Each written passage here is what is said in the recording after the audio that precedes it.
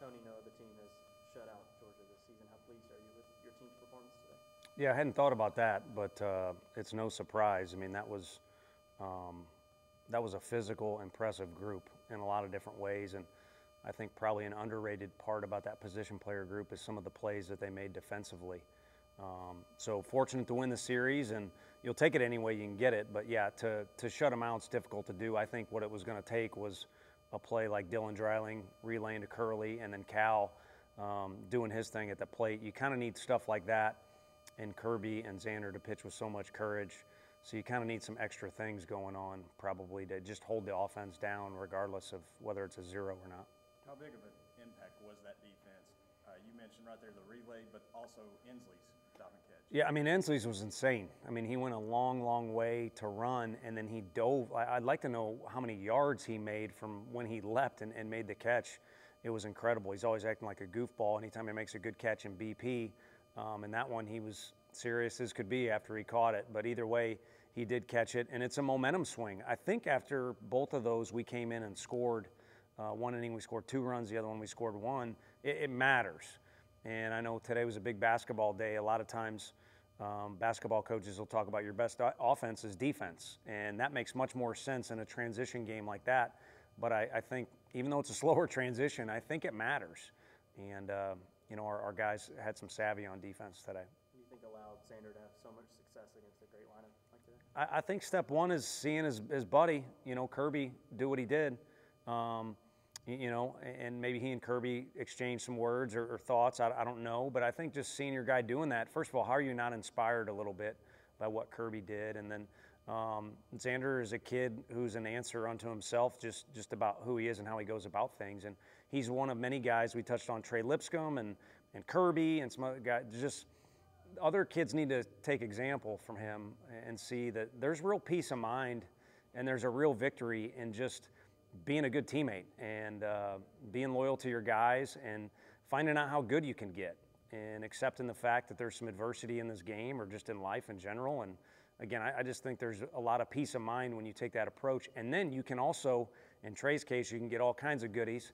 Um, but if you keep doing that, you, you can kind of get, you know, the gold star if, if you want um, that adds icing on the cake. But you know, it's kind of like our basketball coach. Regardless of the result, Zander's a champion or a superstar uh, today. But nice little icing on the cake that he was able to do what he did today. How encouraging is it to know that Snead can go 26 pitches last night, come back less than 24 hours, and do what he did today? Yeah, I mean he's he's a different guy. He's super relaxed away from the field when he's not in uniform, but in uniform, he's uh, what really a reliever is epitomized. It's not like he can't start for us, and maybe will will at some point. Uh, but you want a guy that wants the ball and a guy who's taking care of his body so he's resilient. Um, he's incredibly competitive when he plays catch, so I think it allows him to throw back to back days where his stuff doesn't fall off very much. But uh, yeah, I think it was the first time we'd done that this year where we used a guy back to back, and usually Kirby's a guy we might use three days in a row. Um, so just a big benefit to have him on our team in general. And it's nice when you got to, you know, yeah, nope, next. What did you learn? What did you learn from your team this series? Uh, resilient, resilient. Um, you, you, know, I think toughness is there. I think team chemistry is there. I think there's some good togetherness. But when Friday goes on, you, you either it either expands just a little bit or you can come closer together. And I don't think our guys did anything drastic. I think they just stuck with what the approach they have is. And sometimes I sound really stupid because I say to be consistent, you got to be consistent. But um, I, I think if you let that scoreboard or the stat sheet – you know, get you waving in the wind a little bit one way or the other, that's trouble. And I, I don't think they were deterred. They weren't happy with Friday, and it was a little embarrassing. Uh, but I don't, I don't think anyone was deterred. And so the resiliency factor that was there was huge. And I think that was displayed at the plate today because their starter was so dang good. And it wasn't really a good offensive day in anything we really put together other than Bargo, but his was with two strikes and into the wind. So anything our, our guys did offensively was, with some grit today took a long time last year for you guys to play a rubber match. Now you have three under your belt in SEC play so far. How big is that to have these types of games so early? It's massive. It's massive, and I think uh, you, you, know uh, it, it, adds to the experience the next time you go around, but also it adds to just your experience of why you sign up, you know, to play in the SEC because it's going to be these back and forth battles and. Um, when you get punched, it's you get beaten up because they're so good, and when you are able to win, it, it feels really good because you know you beat arguably the best. Um, so you know, I, I think today the, the guys you could tell there was some you know gratitude's a word everybody throws around now uh, when everybody's being kumbaya, but I think appreciation or, or um, just gratitude for the opportunity today. I mean, the weather's turned even though we had that hoops game going on, we had a great crowd because the stadium's expanded. We got more seats, and uh, why would why would you want it any other way? It, you know, to play a team that maybe were 20 runs better than, yeah, it'd be fun, but it, it wouldn't be it wouldn't be a true test. So I, think, you know, I know what label was thrown on the group a couple years ago, but I've been watching games. There's everybody's doing all kinds of stuff. You know, I don't know if they were back then, but I, I think if you were going to label our team, which it doesn't matter what other people think, I, I think, you know, appreciation for the fact there's they're being tested, and they're going to be tested a lot more. What was the message to the guys with the series on the line today? Um, you know, I think last night we talked a little bit about um, just that. You know, you got a great opportunity, um, you know, to, to do it at home, just like we did last weekend, um, and enjoy it a little bit. Uh, but you got to compete, and then we kind of talked about competition a little bit. Uh, but, but maybe I was answering in a long way the way I did because I want to make myself look smart. We, uh, other people said it too, just like, hey, this would be a good opportunity. And Friday was crazy, and yesterday was crazy, but Sunday is the only day that matters once the sun comes up today. And it kind of came up a little bit on Easter Sunday. So they did a good job executing whatever approach. You know, we're outnumbered. So whatever they had going on, it was dictated by the leaders, and they did a good job with it. Bargo. Do you think he's earned himself a lot more opportunities going forward? Yeah, and, and you know, early in the year, he was a guy. We were down to like four guys that had played in every game, and he was the only one, even though he hadn't started every one. Um, and then you know, you get some a couple nicks and knacks, not just for him, but for other guys. So, yeah, when he's healthy, he's undoubtedly one of our top nine hitters. I can tell you that for sure. Um, want to keep everybody involved. Want to keep everybody prepped. Want to keep everybody confident.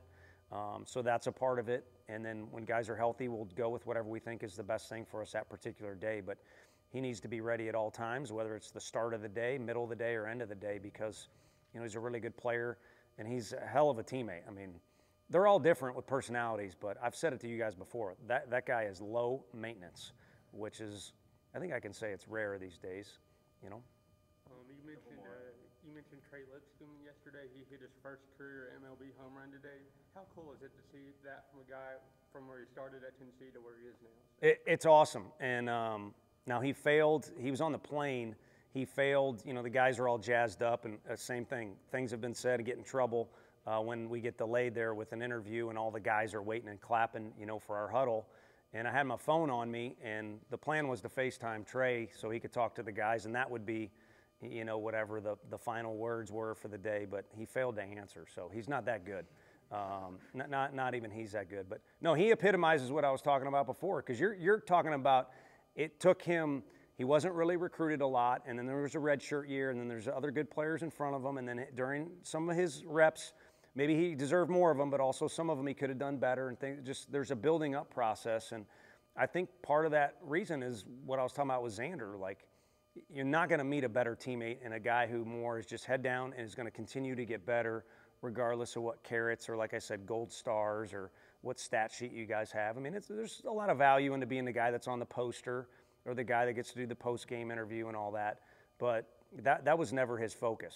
And uh, I don't think it ever will be, even in his big league career, which is going to last a long time. And um, it's nice he had a homer today, but our video coordinator is the smartest guy uh, we got in our building. And he said it as soon as they called him up, everybody on the Nationals got better including anybody. The custodians, everybody got better because that guy's around. You mentioned last night that you meet with the trainers today about AJ. Do you have any update there? Yeah, I failed. I was going to say that as soon as I walked in. Failed, epic fail. So we'll try and get you a, a Monday morning report um, on him and Banky as well. Um, and then obviously KT was going to be a guy uh, that I figured we'd have to touch on tomorrow morning with you all too. But um, he kind of gritted it out.